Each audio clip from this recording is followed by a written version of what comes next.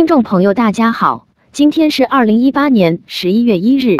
民进广播电台北京报道，法国国际广播电台发表小山的报道，题目是“中国博览会高调，习近平平视开放意，大国高层仍怯步”。中国国家主席习近平将于下周为十一月五日至十日举行的国际进口博览会揭幕。届时，中企大军将大举购买数以十亿美元计的外国商品，借此反驳外界对中国未开放市场的指控。但仍有人质疑中国开放的决心。法新社说，习近平是否会藉这个场合宣布新的改革计划，目前尚不清楚。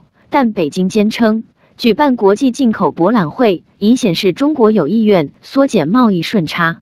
中国高调举办上海国际进口博览会，但据法新社报道，中国贸易战敌手美国也刻意冷落这场吸引若干国外领导人的盛会。有外国商界人士私下批评这场活动，不过是为了转移外界注意力，好让中国延后移除保护国内市场的贸易壁垒。报道说，习近平是否会藉这个场合宣布新的改革计划，目前尚不清楚。但北京坚称，举办国际进口博览会已显示中国有意愿缩减贸易顺差。习近平称，这场盛会不是一般性的会展，而是中国主动开放市场的重大政策宣示和举措。此外，这场将于十一月五日至十日举行的博览会还向外界发出另一项讯息：中国如今正从出口型国家。转变为以十四亿人口的消费力为基础的经济体，其他国家如果想分一杯羹，就得乖乖配合。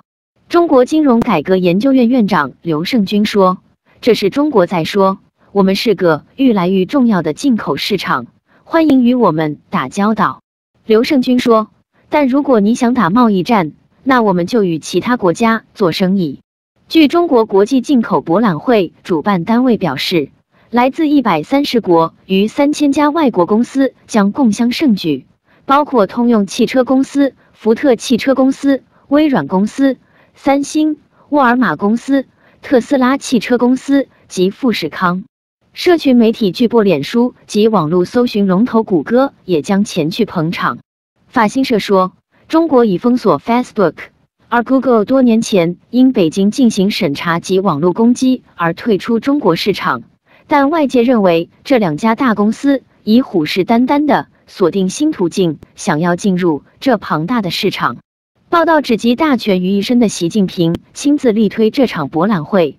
外国商界及外交消息人士表示，中国积极招募与会者，但有些人说，他们之所以出席，主要是为了取悦东道主中国。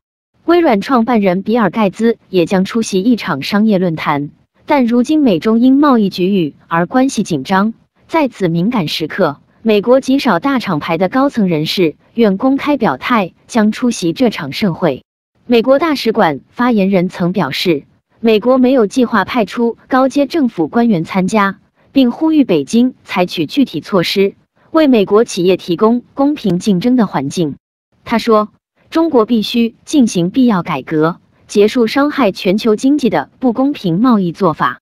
报道说，中国外交部则反驳指出，一边要求进入市场，一边冷落国际进口博览会，是极其矛盾且难以理解的行为。法国国际广播电台发表小山的报道，题目是“全球网络自由再倒退，中国列罪不自由却受膜拜”。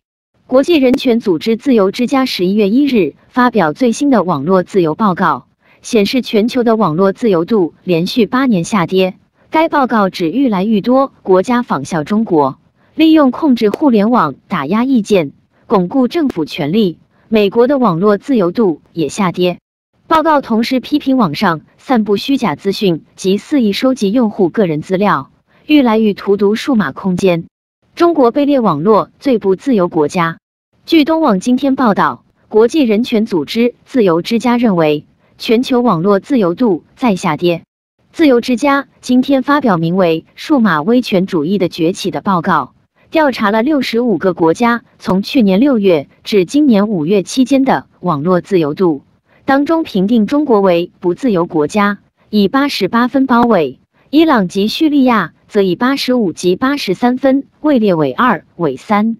自由之家主席阿布拉莫维茨 （Michael Abramowitz） 表示，民主国家在数码时代挣扎，而中国正向外国输出其网络监控模式以及控制国内外的资讯，形容此举危害网络开放及全球的民主前景。该报告又指，中国在三十六个国家举行有关新媒体及资讯管理的训练及讲座，是用数码威权主义训练世界。同时提到，中国要求企业停止传播受封锁资讯，更指部分维吾尔族人因非暴力的网络活动而被拘留。同时直言，华为等中国企业在其他国家新建通讯网，令有关国家的情报有外泄机会。报道指，该报告发现，过去一年至少十七国以打击假新闻为由，批准或提议立法规管网媒；十八个国家则以加强监控等方法。获得不受限的数据访问权。法国国际广播电台发表小安的报道，题目是“资中军说什么了”。微信号遭屏蔽。中国著名国际政治、历史和美国研究专家资中军九月二十四日透露，他的微信号被屏蔽。资中军的言论观点为何不能在中国网络上自由流通？资中军到底发表过哪些触及中国敏感禁区的言论？让我们欢迎资中军先生。这是资中军应邀演讲片段，演讲主题是全球化格局。在中国，把女士称为先生是一种尊称。资中军是中国被称为先生的少有的一两位女士之一。资中军曾担任中国社科院美国研究究所所长、中国社科院荣誉学部委员。近年来，他著书立说，关注中国现代化问题。被看作是中国自由派知识分子的代表之一。他近年许多有关教育、民主、自由的言论被网友追捧转发。有人说她是绝世才女，也有人说她是老愤青。资老是个说实话的人，在当代，资先生的风度几成绝版。资中军先生，我的偶像，中国最优雅知性的女性。资中军的哲学和政治思想比较深刻。资中军先生讲的这么好。这么明白，为什么中共听不下去你？这些都是新浪微博和美国 YouTube 网站网友的观点。这段音乐来自资中军钢琴演奏会视频。资中军出生于一九三零年，今年已是八十八岁高龄。资中军毕业于清华大学西方语言文学系，做过毛泽东等人的翻译，是一位成功体制内人士。这是现旅居美国的中国经济学家夏业良教授。夏业良教授曾任教于北京大学，认识资中军已经将近二十年，曾多次一起参加学术交流活动。在夏业良教授看来，资中军是一位有独立判断的学者，近年来讲话尺度比早前放宽。资中军曾在普林斯顿大学等国外大学和机构担任研究员，学术和文学著作丰富。代表作包括《二十世纪的美国启蒙与中国社会转型》等。一九九六年，资中军退休后，担任中美关系史研究会理事等职务。晚年的资中军更活跃地出现在公共视野中。他有关世界政治、国学、教育，甚至他八十岁还开钢琴演奏会的演讲视频，被许多网友转发，曾获得腾讯网二零一三年度时代知行者称号。资中军微信号被屏蔽。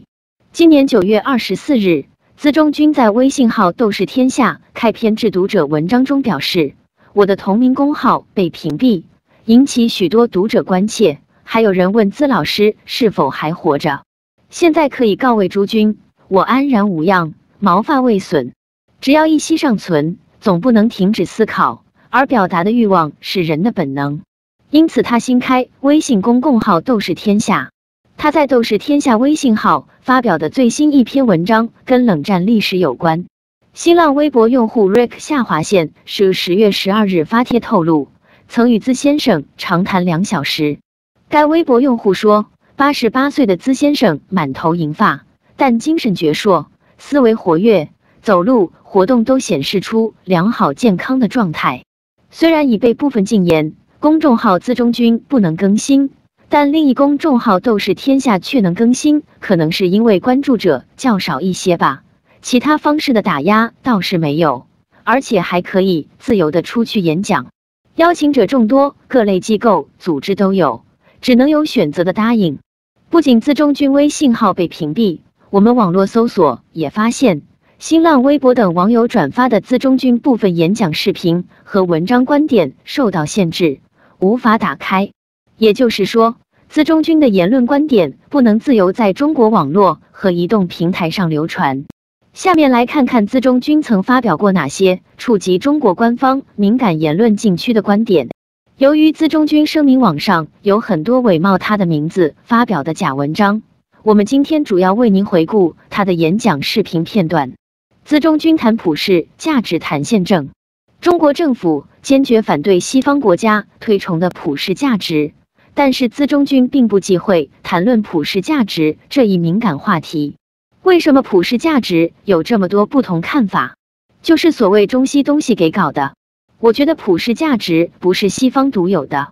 这个声音片段来自美国 YouTube 网站视频，是资中军以前接受中国媒体采访时讲的话。既然宪政，我们已经承认必须有宪法，我们建国有宪法，这种你可以现成的东西可以拿来，为什么不拿来？这是美国 YouTube 网友转发的另一个资中军视频采访。资中军在视频中提到，中国制度改革的历史至少应该从一八四零年开始算起。他希望中国在宪政普选方面向前走。资中军谈爱国，我们网络搜索发现，新浪微博网友转发视频，资中军先生谈爱国，链接已经无法打开。谷歌搜索到的该视频，腾讯网链接也无法打开。我们在美国 YouTube 网站上找到这个视频，这是资中军八十七岁时所做一个演讲。他说：“爱国首先是爱民，国家是干什么用的？是保护人民的，是保障人民用自己的力量能够求得生存和幸福的。如果以国家的名义剥夺人民的幸福，或者是害民，那这个就不能够叫爱国。”这个民不是一个抽象的人民，我们常常用抽象的人民来代替一个一个真正的人，说我这是为了人民，但是剥夺所有的活生生一个一个人的生存权，这个也是不对的。资中军认为，爱国应该爱一个民主、自由、平等、公正、法治、文明的国家，所以我觉得设计这个核心价值观里头，它不光有爱国和富强，它包括了民主、自由。平等、公正、法治，还有文明。如果没有这些，你要是越来越野蛮，用野蛮的办法治国，那就是不行的。资中军谈中国模式。资中军在二零一一年经济年会演讲中，对美国和中国的形势各自进行了分析。谈到中国时，他说：“中国和美国完全面临不同的发展阶段。美国和欧洲是带有后现代性的。”中国还没有完全现代化，是一个畸形的发展的社会。资中军提到，中国近三十年的成就有目共睹，但面临的问题也多如牛毛。他提到了其中的三个问题：一个是中国模式不可持续；二是腐败丛生，难以遏制；三是贫富差距加剧，社交矛盾尖锐化。资中军还曾批评中国教育势力力化，导致人精神退化。他也担心年轻人被虚假历史所蒙蔽。资中军是否被约谈过？刚才我们提到，资中军谈爱国时说要爱一个以民主、自由、平等为核心价值的国家。这种观点受到中国毛派学者的反驳。北京航空航天大学马克思主义学院教授胡茂仁在微信上发表文章，批评资中军把西方普世价值看成高于一切的价值观。说他的价值观不分是非，与毛泽东主义爱国观不符。十月十四号，网上微信文章透露，中国社科院美国所书记约谈资中军，说他犯了三个错误：一个是宣扬党史造假，二是鼓吹宪政，三是在《炎黄春秋》杂志的会上说中共十八大没有新东西，只有两点与以往不同，还是倒退的。海外媒体对此进行了报道。之后，资中军新微信公共号“斗士天下”发表编者按说，近日网上又传言资先生被约谈，以及资先生的所谓六点逆耳之言，这一伪作几年前就已出现多次，资先生也已不止一次辟谣。资先生委托小编再次声明，这些都不是事实，他生活活动照常，请朋友们放心，也从未发表过那些言论。虽然资中军进行了辟谣，但是夏叶良教授表示。领导约谈资中军以前是发生过的，因为他是党员，因为要进行言论控制。德国之声中文网发表凝练苗子的报道，题目是“白宫松口了，惩罚性关税并非铁板钉钉”。围绕美中贸易冲突萌生缓和希望。美国总统川普经济顾问日前十月三十一日接受采访时的若干表态，有可能让市场松一口气。白宫首席经济顾问库德洛并不认为美中贸易冲突一定会继续升级。他周三在接受美国哥伦比亚广播公司采访时表示，增加对中国的惩罚性关税并非铁板钉钉。他称，川普总统还曾明确说过，若能与北京领导人达成善意共识，还可取消大量关税。峰会上达成了不起的交易。一般预期。川普和中国主席习近平将在阿根廷首都布宜诺斯艾利斯的 G 二十峰会期间会晤，会议定于十一月三十日至十二月一日召开。库德洛称，这会是一次很好的会谈。川普本人此前也在接受一次电视采访时说过，他期待着和中国达成一桩了不起的交易。美国迄今已对价值两千五百亿美元的中国商品征收特别进口税。约占中国对美出口的一半。作为报复，中国已对价值一千一百亿美元的美国商品征收特别进口税。川普总统多次威胁对来自中国的全部商品课征惩罚性关税。他要求北京领导人扩大市场开放，终止国家补贴，有效打击技术剽窃行为。数月来，美中贸易争端已导致全球股市走低。大家好，我是柳晨。今天我们来学习一下如何在 YouTube 上订阅“明镜之声”频道。首先，在您电脑的桌面上打开浏览器，在进入 YouTube 主页之后呢，您就会啊看到正常的这个搜索栏。在搜索栏上面，您可以输入这个“明镜之声”的呃拼音 M I N G J I N G Radio，或者呢，也可以打入中文字“明镜之声”，都可以搜到我们的频道。看到明镜之声的 logo 之后呢，您就点击它进入明镜之声主页，在最右后边的这个红色的 subscribe 标志，点它就可以跟随我们的最新节目。点击之后，您的呃明镜之声的标志就会出现在跟随的最上面一栏，在 subscribe 的右边有一个小铃铛的标志，您只要点了它之后呢，就会收到我们所有最新节目的提醒。在我们主页的下方是明镜的所有最新的节目的更新，感谢您的订阅。